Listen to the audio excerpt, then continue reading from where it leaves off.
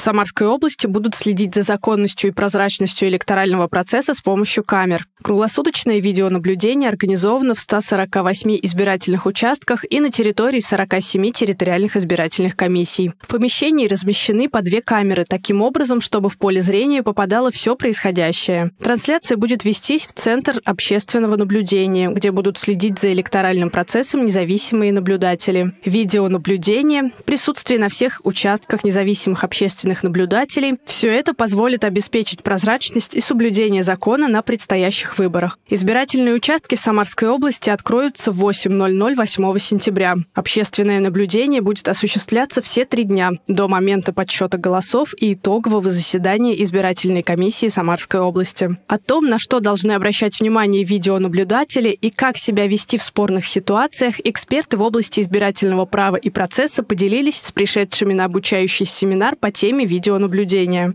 У нас каждый отдельный видеонаблюдатель, он у нас отвечает за каждый свой участок, то есть там также ведется отчетность, то есть он, э, соответственно, ведет отчетность, как он заходит на этот участок, с какого времени он начинает наблюдать, а когда он завершает наблюдение, были ли нарушения, например, во время наблюдения за данным участком. Поэтому на каждом у нас участке расположены две камеры, э, которые захватывают именно все происходящее, что у нас на выборах происходит.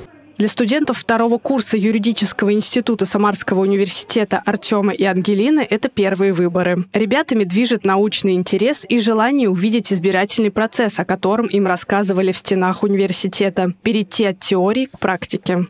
Пришел э, поучаствовать в выборах, побывать наблюдателем в этой роли, для того, чтобы больше разобраться, э, как у нас вообще устроен этот вопрос в области с выборами.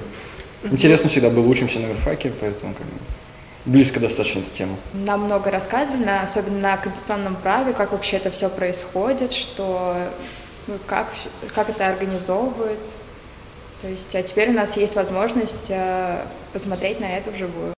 8, 9, 10 сентября в Самарской области пройдут выборы губернатора и депутатов в представительные органы отдельных муниципальных образований. Следить за прозрачностью и законностью избирательного процесса на каждом этапе будут независимые общественные наблюдатели. Набор и обучение пула наблюдателей осуществляет общественный штаб по независимому общественному наблюдению за выборами в 2023 году. В его состав в этом году вошли представители региональной общественной палаты, ведущие эксперты в области избирательного права, представители аппарата уполномоченного по правам человека в Самарской области, Самарского отделения Ассоциации юристов России, представители средств массовой информации. Всего в составе штаба 15 человек. Председателем штаба стал Павел Покровский, член Общественной палаты Российской Федерации. Сопредседателем – президент Нотариальной палаты Самарской области Галина Николаева и Виктор Полянский, заведующий кафедрой государственного и административного права юридического факультета Самарского национального исследовательского университета имени Королева. В этом году в составе состав общественного штаба вошла генеральный директор телеканала «Самара ГИС» Елена Кольцун. Галина Топилина, Игорь Казановский. События.